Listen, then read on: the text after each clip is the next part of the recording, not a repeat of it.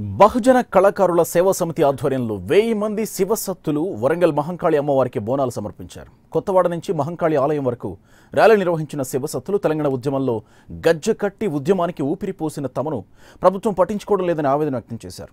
ప్రభుత్వం ఇప్పటికైనా తమను పట్టించుకుని నెలకు పదివేల ఆర్థిక సాయం అందించాలని డిమాండ్ చేశారు.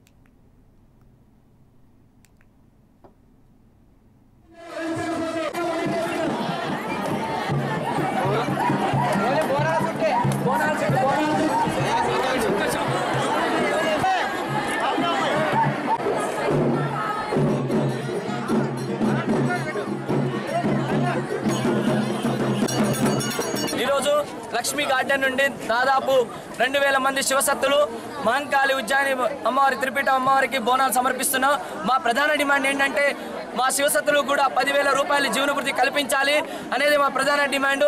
ధూపదీప నైవేద్యం కూడా మా శివసత్తులు కల్పించాలి. వీళ్ళు అనేక కష్టాలు పడుతున్నారు. వీళ్ళ కష్టాలను గుర్తించి ప్రభుత్వం వీరికి గుర్తింపు ధృవపత్రాలు